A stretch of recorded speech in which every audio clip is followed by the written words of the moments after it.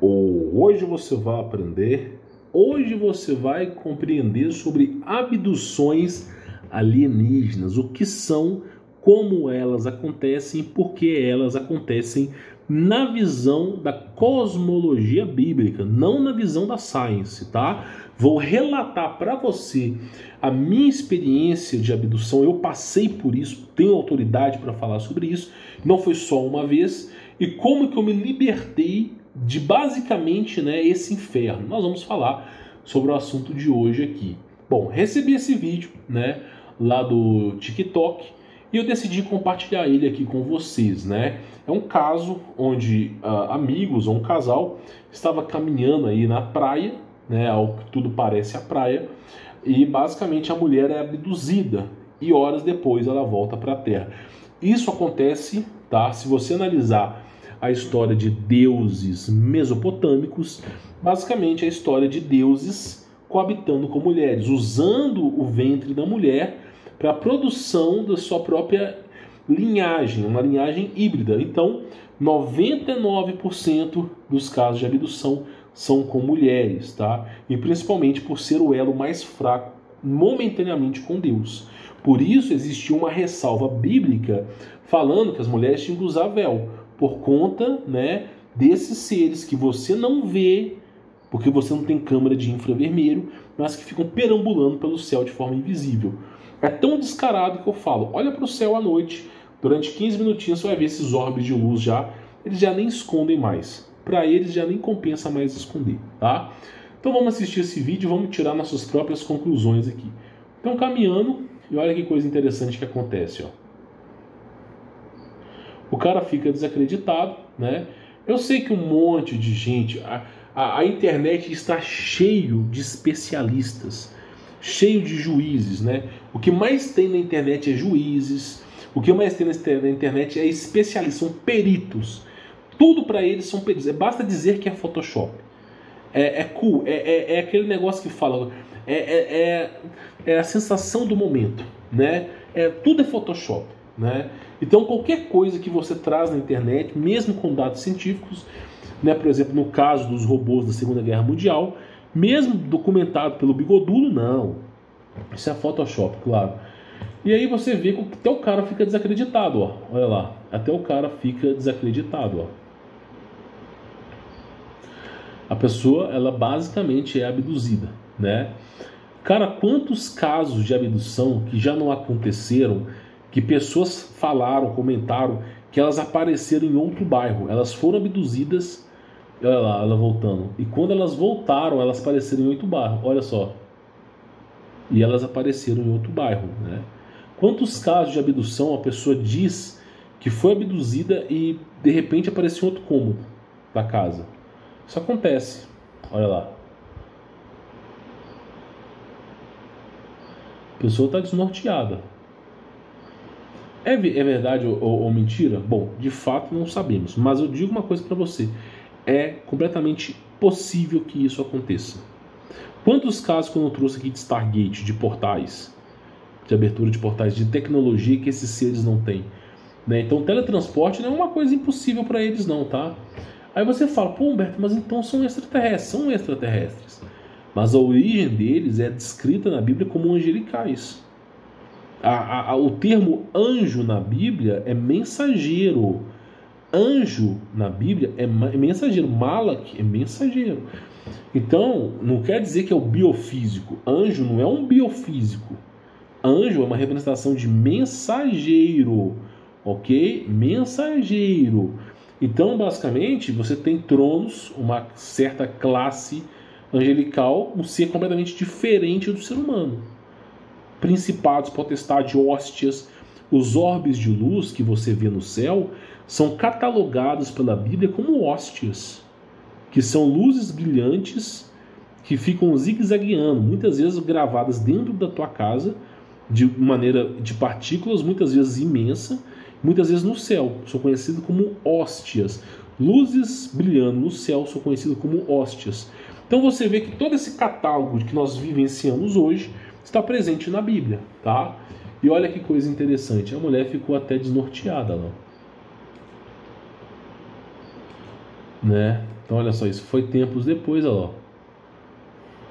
E detalhe que quando ela, ela caiu ali, ó, olha só, ela caiu, ela caiu deitada. Que provavelmente estavam usando o útero dela para alguma coisa, né? É o que a gente vem falando. E como que ocorrem as abduções? Porque eu já, eu já presenciei um, né? Uh, antes de eu conhecer Jesus Cristo, né, eu, eu prometo para você que esse relato não será um relato religioso, até porque religião, cara, é, ela só religião é a única coisa que fará a humanidade entrar definitivamente em uma guerra. Porque, é, meu, mexer com religião é pior que time de futebol, tá? Então prometo para você que eu não vou ficar falando aqui de religião, também nem gosto de religião, tá? Para mim é crença em Cristo e acabou. O que aconteceu foi o seguinte, cara, explicando isso aqui para vocês, tá? Basicamente, né, ah, na casa dos meus pais eu tinha o meu próprio quarto, e dormindo na, na cama de solteiro, né, no meu próprio quarto, quando eu era uh, adolescente, eu acordei, né, no meio de uma madrugada, as luzes estavam apagadas, e eu escutei um sotaque que eu nunca ouvi em minha vida. Já escutei russo, castelhano, tudo que você pode imaginar, até esperanto, e nada se assemelha ao sotaque que eu ouvi uh, quando, eu, quando eu fui acordado de madrugada na casa dos meus pais. E basicamente eu acordei, um brilho danado, porque eu apaguei todas as luzes, né? E eu ouvi um barulho estranho. E de repente eu tentei me mover. E eu não conseguia me mover em hipótese nenhuma, não conseguia me mover. Foi uma paralisia do sono. Então eu, eu, eu conseguia escutar, eu conseguia ver, eu conseguia respirar, conseguia, eu não conseguia falar, nem mover a boca. Mas eu sentia que tinha algo atrás de mim. E a única coisa que eu me lembro nesse momento é que parecia que as minhas costas estavam abertas. Parecia que algum ser pegou minhas costas e abriu elas assim, ó. E falando, falando, falando, e eu creio que esses seres não perceberam que eu tinha acordado. E aí, gradativamente, eu consegui mexer a boca e tentar falar algum som. Aí esses seres perceberam e dentro da minha mente, dentro da minha mente, tá? eu vislumbrei uma imagem de um alienígena. Dentro, ela foi construída para me mostrar aquilo ali. Eu não conhecia, meu irmão, eu não, eu não, eu não conhecia Jesus Cristo. Berço da minha família, ninguém fala de Jesus, cara, ninguém. Se você pegar desde meus bisavós, ninguém, ninguém fala de Jesus. E aí, basicamente, o que aconteceu foi o seguinte: minha luz é assim porque eu moro na roça, tá? Pode ficar tranquilo aí, pode ficar tranquilo. E aí, basicamente, aconteceu o seguinte, explicando isso aqui para vocês, né? Foi, foi teve essa situação horrorosa e alguma coisa na minha cabeça falou assim: fala de Jesus, cara. Eu nem sabia, sabe? Minha vida nunca foi em prol de Jesus. Eu nem tinha, nem mal mal sabia o nome. Isso com meus 14, 15, 16 anos. Mal mal sabia o nome. E aí eu comecei a clamar Jesus, porque né, naquela época eu, tinha, eu participava de um grupo espírita, né? Na região da Grande BH, chamei tudo quanto é pai de santo, nome estranho, nada veio me ajudar. E aí, pô, nome de Jesus, comecei a chamar o nome de Jesus. Quando eu comecei a chamar o nome de Jesus, eu chamei na minha mente, minha boca não estava mexendo, então eu estava tentando falar alguma coisa. E aí, o que aconteceu foi o seguinte: quando eu clamei a Jesus na minha mente, eu acho que esses seres estavam lendo na minha mente, cara. Porque eh, se eles conseguiram colocar uma imagem na minha mente, provavelmente devia estar lendo ela. Quando eu falei Jesus, o som que eles estavam fazendo se calou, na hora, se calou.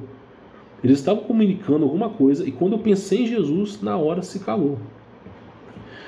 E aí o que aconteceu foi o seguinte, né? Eu comecei a clamar cada vez mais Jesus, eu vi que deu certo e de repente eu comecei a sentir um formigamento na boca, parecia que estava voltando a minha fala. Né? Meu corpo começou a tremer, eu estava tentando mover.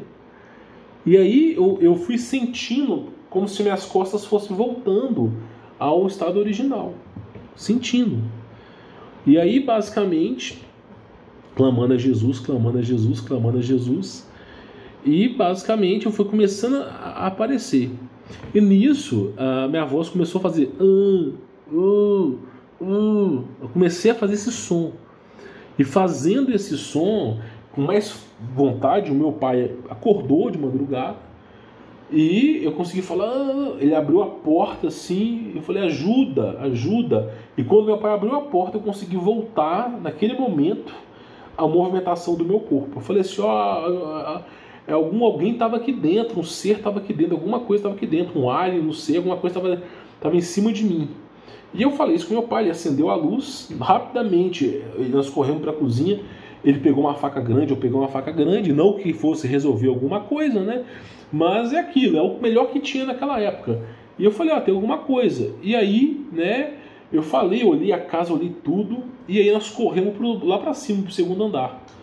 E quando a gente olhou no segundo andar, meu pai presencialmente, visualmente viu também. Nós vimos uma bola de, de, Não vou dizer que é fogo, uma bola elétrica, amarela. Estava em cima do meu quarto. Eu não sei se essa bola foi Jesus que mandou um anjo vir ali, uma hóstia, para me proteger, ou se era o ser que estava enchendo o meu saco. Não, eu, eu, só vou descobrir quando estiver na presença de Jesus. Mas quando a gente chegou, essa bola estava em cima do meu quarto, na parte do, da laje, e ela sumiu, ela foi, foi embora, assim. Meu pai ficou de boca aberta. E nisso, louco assim, a gente falou, caramba, caramba, né? E ficou louco com isso. E aí eu falei, meu, que coisa doida. Aí eu comecei, a, naquele momento eu comecei a mais me interessar por OVNIs, para saber o que, que era aquela nhaca ali. E vou te dizer, meu irmão, não tem nada que presta daquilo ali, nada, nenhum fruto produtivo. E nisso a gente viu essa, essa bola nitidamente, eu e meu pai. E aí meu pai decidiu começar a instalar câmeras. Foi naquele momento que ele decidiu instalar câmeras. Aquelas câmeras da China, que tem visão noturna, que mexe, não sei o quê, né? E, é, acho que chama IPCAM ou UC, alguma coisa desse gênero. Aí botou as câmeras todas na casa, botou uma pontada pro meu quarto. E quantas e quantas vezes que dormindo essas câmeras não fragavam bolinhas brancas translúcidas em cima do meu quarto. E na época eu tinha clamado a Jesus, eu não estava presencialmente com Jesus. Né? E eu me lembro bem que também voltando da faculdade, teve um caso desse. Teve um caso desse, onde eu estava chegando na casa dos meus pais, mas eu me faltando um quilômetro. Eu estava sozinho na, na estrada, não tinha ninguém. Isso eu voltando assim, praticamente quase meia-noite, né? E aí, é, basicamente é o seguinte: a, o horário na faculdade, na PUC Minas, do Coração Carístico, era 10h30 né, que era o horário final da última aula. Só que aí, evidentemente, como é época de prova, os caras deixam ficar mais ou menos aí até umas, até umas 10h45, 10h50 e tal. E para você pegar o carro de Belo Horizonte e andar mais ou menos 50 quilômetros, atravessar BR, atravessar não sei o que, estrada, demora pelo menos uma hora e tanto. Então, já estava quase meia-noite. Na região que eu estava, região poucos habitantes, não tinha ninguém na rua. E nisso eu comecei a ver uma luz em cima do meu carro, cara. Luz em cima do meu carro. Eu achei que era um poste. Falei, porra, é poste, né? Só que quando eu passei o poste, tava escuro e a luz estava em cima, eu falei, caralho, que porra é essa, né? E aí a luz em cima. E aí eu passava do poste, chegava na parte escura, eu via essa luz iluminando meu carro. Aí o que, que eu fiz? Parei o carro, olhei para cima, tinha uma bola amarela, não sei se era a mesma bola, em cima do meu carro. E nisso, né, basicamente, quando eu olhei para ela, ela foi embora e sumiu. E não vou dizer que eu sou protegido, não sou, meu irmão, eu sou igual você, eu cago peido e mídia. Não, não existe diferença aos olhos de Deus, nem, nem de Cristo, sobre eu e você, somos exatamente iguais. Eu não, tenho, eu não sou a cereja do bolo. E aí é, essas coisas começaram a encher o meu saco. E eu lembro que quando criança eu tinha muitos pesadelos, muitos, dos níveis mais absurdos. E quando eu. Eu já contei o meu relato aqui, existe um vídeo chamando Desmascarando o Gordinho Safado, Humberto Volts. Né? Eu fiz esse vídeo, né? A casa caiu, Humberto Volts. Porque volta e meia tem alguém inventando história sobre mim. Eu, já, já, eu mesmo fiz meu próprio vídeo, é o meu testemunho sobre Cristo. E quando eu desafiei a Deus e, e Cristo Jesus apareceu para mim, e eu, minha vida foi transformada, meu irmão, daquele momento em diante não teve mais abdução. Não teve mais esses sonhos horrorosos. Não vou dizer que eu tenho pesadelo, porque às vezes a gente pode até ter, mas não daquela intensidade. Aqueles vultos eu parei de ver. O medo do escuro, eu parei com tudo. Por quê? Porque basicamente a presença e a plenitude de Deus me, me contentou, me completou minha alma. Tá bom? Então, o que aconteceu foi que quando eu descobri sobre Jesus, obtive conhecimento sobre Jesus, sobre anjos caídos, sobre esses deuses mesopotâmicos, que são nefilins. Tudo, toda essa história, que é uma grande narrativa construtiva, são apenas anjos. Anjos são extraterrestres, mas são apenas anjos. Uns para o bem, outros para o mal, né? uns a serviço de Cristo, outros a serviço do diabo, sacaneando com a sua vida. E quando você clama o nome de Deus, aí eu, aí eu me toquei. Nesse momento eu me toquei quando eu encontrei a Jesus. Eu falei: peraí, como é que um, um extraterrestre viaja milhares de quilômetros e anos-luz de distância pelo sistema solar? Como é que um extraterrestre, por exemplo, ele praticamente ah, tem uma nave que consegue anular a gravidade, uma grande tecnologia, mas é só falar o nome de Jesus que esse ser dá no pé, chulé. Como é que pode? Você clama Jesus, ele para de falar, ele some. Como é que pode isso? Como é que um simples nome Jesus pode fazer com que tudo isso aconteça? E aí eu percebi. Aí a narrativa se construiu. São anjos caídos. Existe um mundo espiritual, legalismo espiritual. Quando você clama o nome do Criador, ele vem. Aquele que invocar meu nome será salvo. Então é um, é uma é um âmbito espiritual. Chamou o nome de Jesus, esses seres começam a tremer nas pernas. Porque sabe que vai vir. Sabe que vem. E aí, basicamente, eles dão no fora. Por isso, grandes sociedades, civilizações que foram extintas, não eram cristãs. Tu pega, por exemplo, o Teotihuacan que sumiu, não era cristã. Tu pega os tupinambás, uma cultura tribal que era praticamente uh, tupi, guarujás, uh, os tupinambás, toda essa cultura tribal brasileira que sobreviveu há mais de mil, dois mil anos, conhecia o Deus monoteísta na Bíblia, cujo nome em aramaico, língua antiga ancestral, é Jesus. Tanto é que foi preservada por Pôncio Pilatos. Então, basicamente, basicamente, você vê o que? Aquela civilização que tinha um contato com Jesus Cristo sobreviveu. E aquela que não tinha foi para o ralo. Né? Império Romano, para o ralo. Você vai, olha toda a estrutura do passado. Para o ralo. Tartária, para o ralo. E você vê que o que, o que fez a civilização sobreviver foi o fundamento de Jesus. Então, esse caso de abdução, eu não duvido que é real. Eu não duvido. Como, irmão, os caras tinham discos voadores na década de 40 que anulavam a gravidade, que dirá em 2022, 80 tantos anos depois. Não duvido, mas é aquilo que eu te falo. Você tem que ter a proteção de Jesus Cristo. Por isso eu sempre falo: aceita Jesus Cristo como seu Salvador. Antes de sair de casa, recite o Salmo 91. Ore a Jesus Cristo, peça a Ele proteção. Por quê? Para que um anjo do Criador proteja você e a sua família, proteja a sua vida. Para que esses seres não possam atentar contra a sua vida ou tentar te abduzir. Porque para chegar no momento que esses seres conseguem sequestrar uma pessoa e sequestrar, é porque essa pessoa não está com a proteção adequada. É óbvio que realmente pode ser que aconteça, pode, não vou descredibilizar o fato.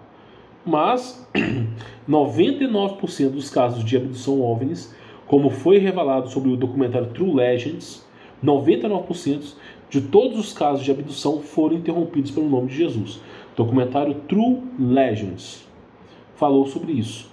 Todos os casos que foram analisados de abdução, quando invocado o nome de Jesus, paravam. Como é que, como é que extraterrestre tem, tem medo de Jesus?